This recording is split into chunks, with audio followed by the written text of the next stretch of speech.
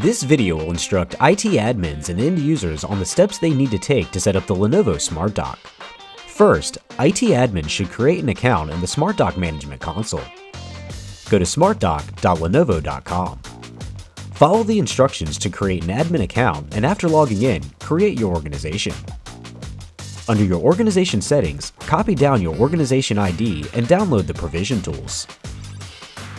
The IT admin will get two files. The SmartDock Connect admin's tool will be installed on the IT admin's computer and used to create the configuration file. The SmartDock Connect file will be installed on the end user's PC and used to provision a new dock. In the SmartDock Connect admin's tool, input your network configuration and organization ID. If you enable silent mode, the provision process will run automatically and silently. Make sure the configurations you input are correct, click Export. Create the password when prompted and click Save to create the file. IT admin should now deploy SmartDock Connect and configuration file to the end user's PC.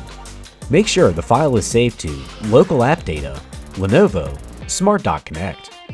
When the end user connects a new SmartDock, if the configuration file was not deployed in silent mode, the UI will automatically launch. Users must follow the UI to start the provision. Users will be given two options to start provision based on their location. Clicking I'm at my organization's office will not allow users to input any configurations. Clicking I'm at home will allow the user to input their home network configuration. When provisioning is complete and silent mode is not enabled, users will see a completion message. They can also check their device LED to understand the status.